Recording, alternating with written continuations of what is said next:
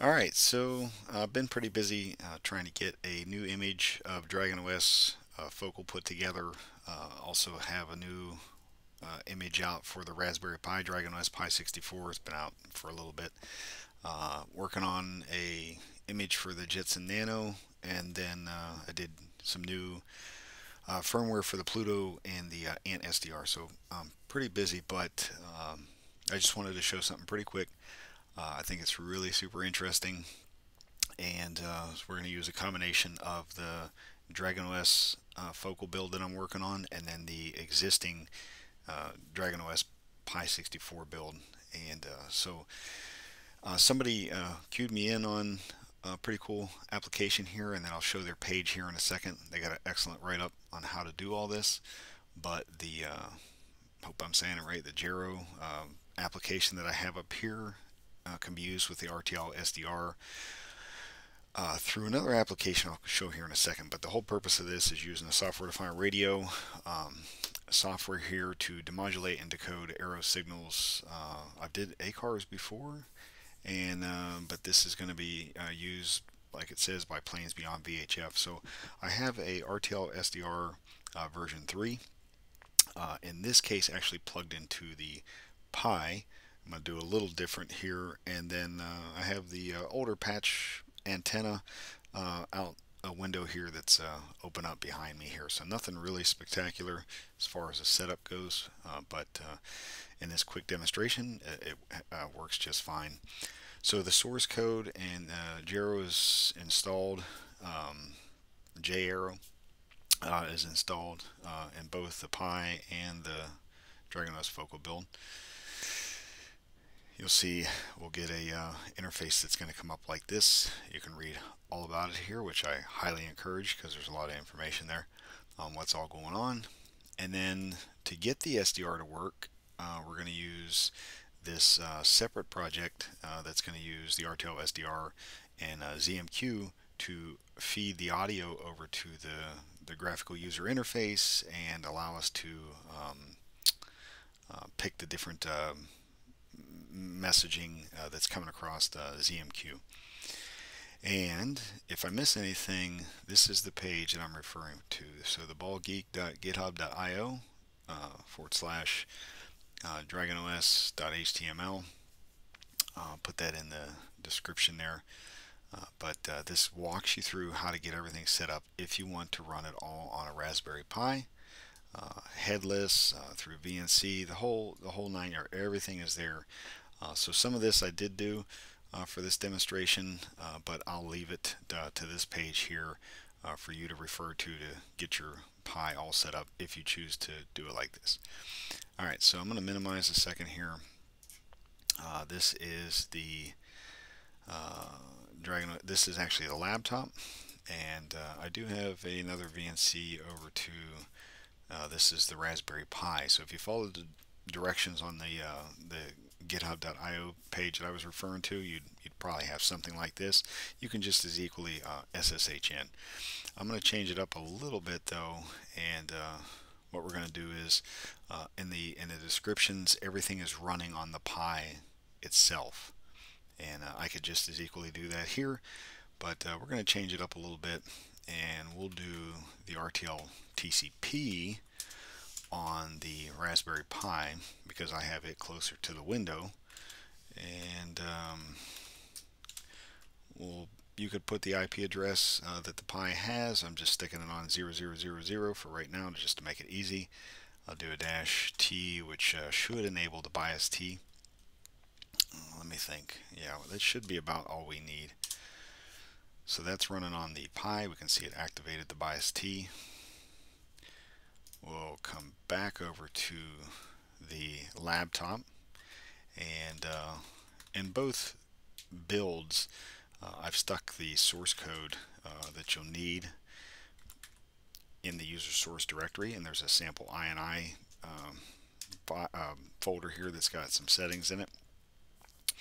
I'm going to pick the SDR98W and uh, since it's in the user source uh, we'll use sudo nano to edit it or you could install apt-get gedit if you like a graphical user interface and use sudo. But all I've done here is uh, comment out the tuner gain and put a remote gain here and specify the remote RTL uh, IP address which is uh, shown uh, on the SDR receiver page somewhere here so you can see the remote RTL and the gain is pretty important. I got a little bit of a delay here. Alright and then you'll notice the uh, the topics uh, for ZMQ are down below here.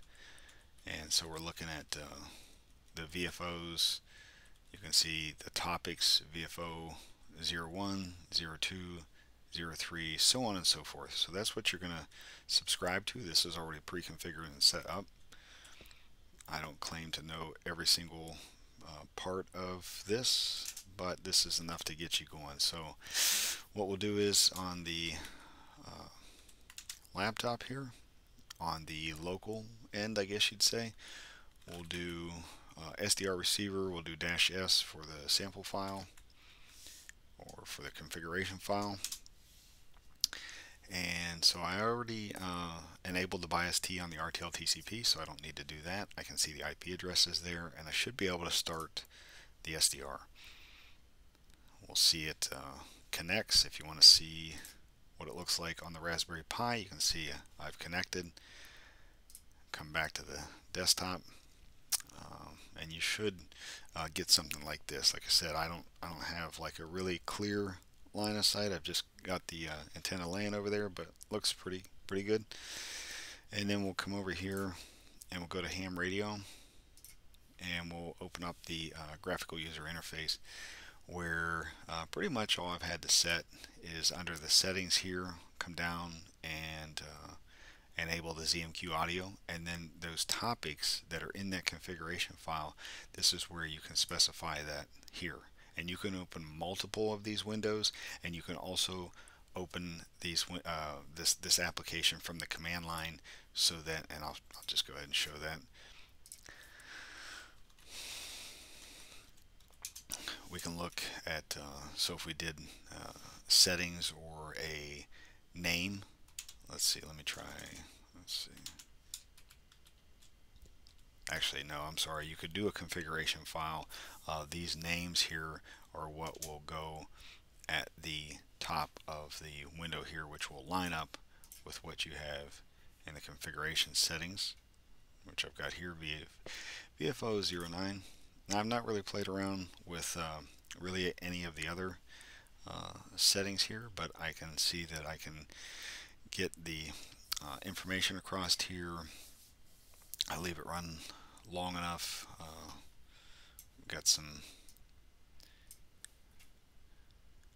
information from aircraft. If you're doing this all in the Pi, you probably want to mute the audio and uh, lower some of the uh, FFT settings and maybe even the constellation to save some CPU power. But I've just got this running on a laptop, so uh, it's been pretty fine, or pretty good. Uh, let's see what else. Uh, you can open up the plane log, and uh, this will give you additional information. So, again, you can have multiple uh, windows open, multiple. You can cover every VFO that's listed there.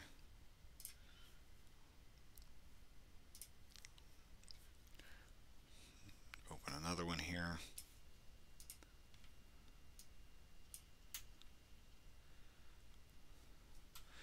And then, you know, I could have renamed this to uh, different VFO if I wanted to.